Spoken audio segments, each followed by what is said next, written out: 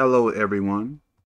We have to understand that when you are in a relationship, you may not think about some things.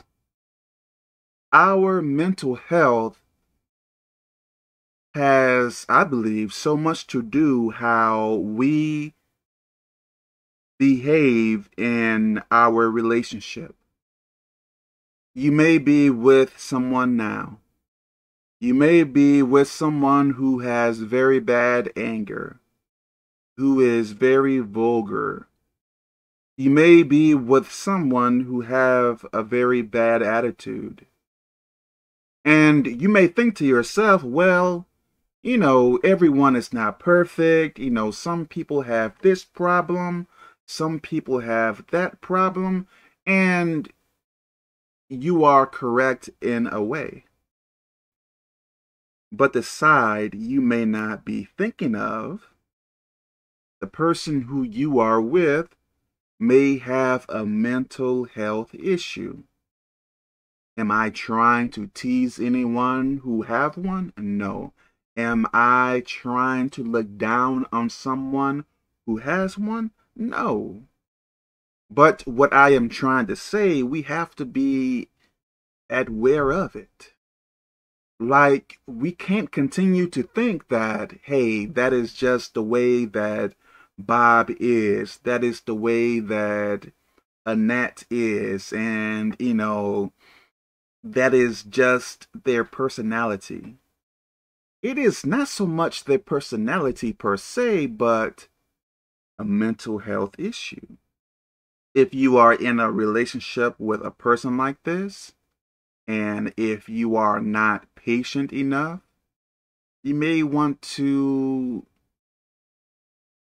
break off the relationship and be with someone, I guess, that is more like you. If you are married with someone with a mental health issue, I recommend you praying to God about it so much. If your life is truly, truly in danger, find somewhere safe to be at. I believe with mental health, some people can be on the very severe side, and some people can be less. We all have grown up a particular way. Some of us had bad parents, some of us had good parents. Some of us had very caring parents, and some of us had parents that neglected us. And if we had bad parents, you may have coped with it in a particular way that isn't right in some ways, I guess. So you may have coped in certain ways that may not be right. And because of some of those ways, they may be the cause or one of the causes of maybe some of your bad behavior.